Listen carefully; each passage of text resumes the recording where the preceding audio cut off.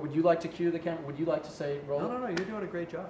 I just Yeah, figured I'm I got off- you here. I'm off duty. It's like, it's like inviting a doctor to dinner. You're not gonna ask him about the pain in your shoulder. That's rude. Trust me, the number of times I'm at dinner and somebody asks me about Kim Kardashian, I could go on Eh, Exactly. all, all day. The great James Cameron is here, and, and well, I'm happy to have you stop by anytime. But the main reason you're in town is Titanic finally on Blu-ray and Blu-ray 3D, which I'm excited because now I got the 3D.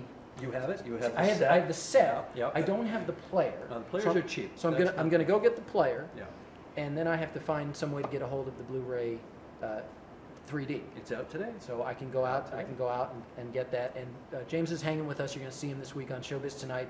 I'm, I'm curious about a few things, not the least of which is when the last time you saw the film, beginning frame to end.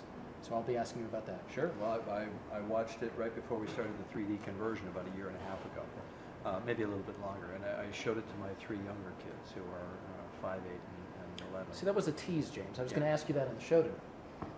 oh, good. You're going to ask me that later. I'll ask you that question.